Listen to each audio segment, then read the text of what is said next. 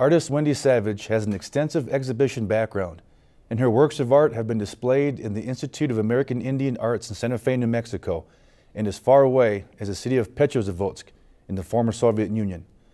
She draws upon her Ojibwe heritage to create canvases of natural and sometimes personal beauty.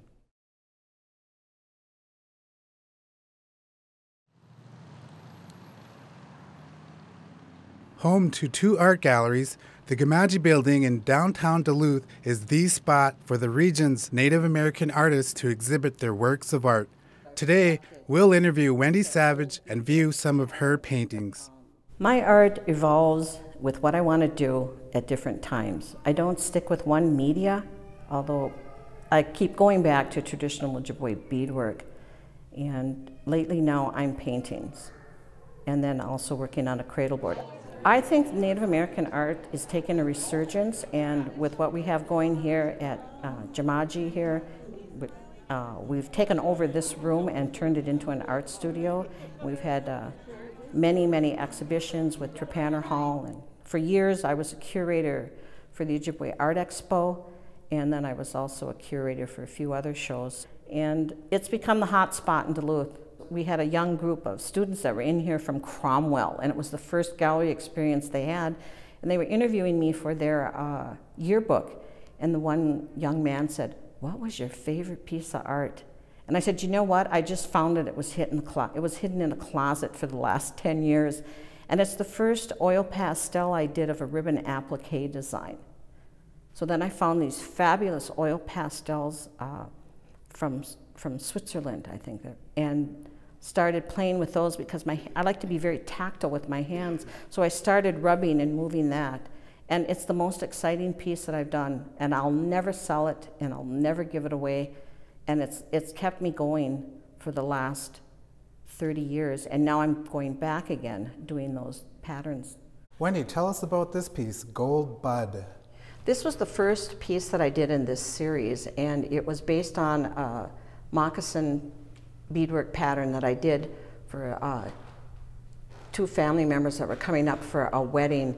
And I fell in love so much with the design that I did that I decided to recreate it on, uh, on this birch board, which led to the, this whole series.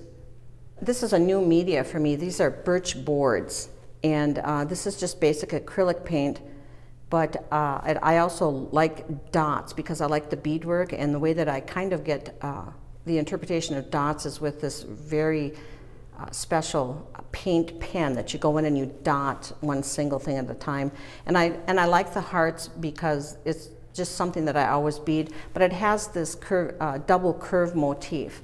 And when you study uh, the double curve motif, it goes way back to the Hopewell culture, and you can find a lot of that done in the Hopewell culture. And the colors that I've selected, these are old beadwork patterns that um, come from the early uh, 1900s to the early, late 1800s. But there were different beads at the time that had different colors, and you can't get those colors today. So they're a little more muted, they're a little more rich, they look more like jewels, and I have some of them. And so that's what I've based these color designs on is, is the old time bead, beads that you used to be able to get. And they're not being done anymore.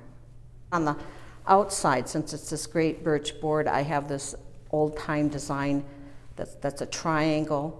And usually it's based off of the otter pattern. And it's like three triangles and then a longer triangle. And it's based on the way that the otter walks when he's in the snow as he does three jumps and then he slides. And I also find that really wonderful because if you're going to have this nice birch board, why wouldn't you use all the surfaces? It gives it another dimension, and people can come up and say, Oh, that's great. But then if they're really looking, they can go, Look, she's got something on the sides, and she's got something on the top, something on the bottom. I always like to do a little bit of intrigue and make artists, you know, and the general public just look a little closer.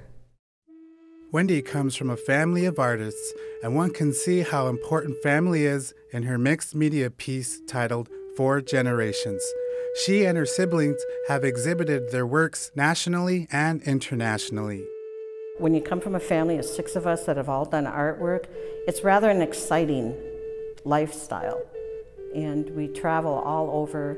We go to museums, uh, we talk a lot to each other's art, and we all travel in a pack. We have, it's like our own tribe. Wherever someone's working, if they're working on site, we're all going to go there. So it's, it's rather exciting, and we feed off of each other, and there's a lot of encouragement. I just think it's something that we do because it's part of our community and, and part of what we want to do. I'm very comfortable with being a Native American artist. I think that's what makes us unique. If you want to look at the at the state of what a culture is in, or, or the state, you know, look at their arts. Art has always been around. That's the one thing we do as humans. We are the only people that, we are the only creature that creates art. When you look into, and you do a lot of study in museums and go to the history, and you start looking at Native American art, how could you not want to do that? It's just so gorgeous and just so beautiful. It just speaks to your soul.